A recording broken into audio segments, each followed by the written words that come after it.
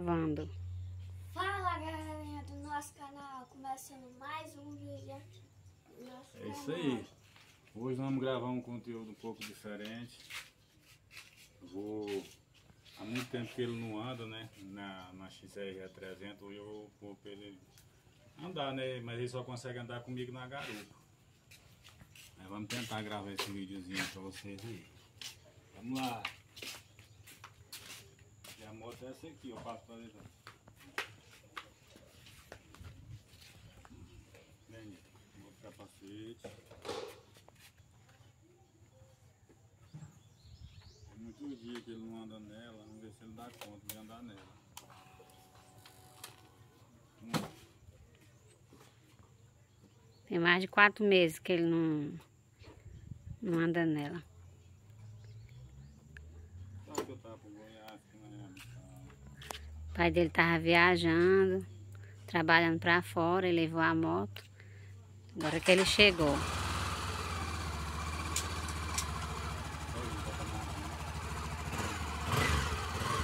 Lembrando que ele anda só com o pai dele na garupa, né? Que a moto é grande, alta.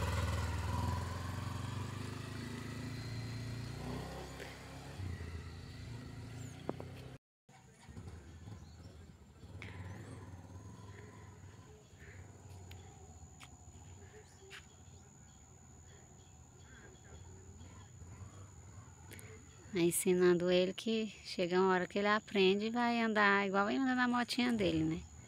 Essa moto dele aqui do pai dele é muito alta.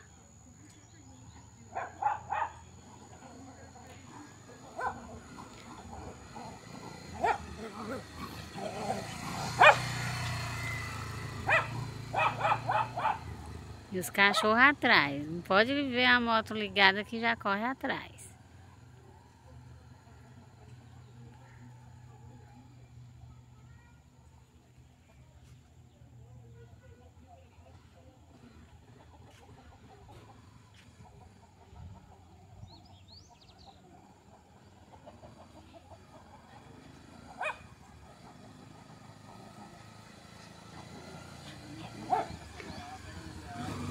Pega na embreagem.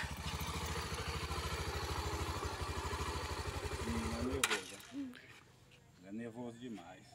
Aí. Ele é muito medroso para mesmo ele sabendo já andar na pequeninha lá, na mini moto. Aí nessa aqui ele fica nervoso.